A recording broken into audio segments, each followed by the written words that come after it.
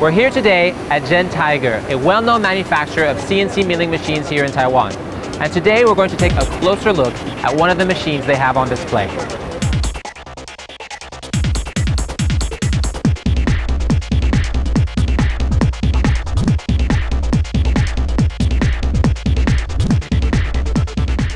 This machine comes with a high precision, high efficiency, German-made swiveling head, allowing for five-axis simultaneous machining. You'll notice the Z-axis is mounted on four heavy-duty roller-type linear guideways. This provides excellent support of the spindle and maximizes stability during cutting.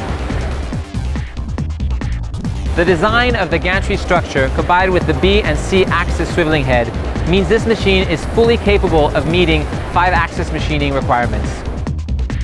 This new gantry type 5-axis high-speeding machining center from Gentiger brings the mold and die machining technology to a new level, achieving unprecedented speed, efficiency, and surface finish.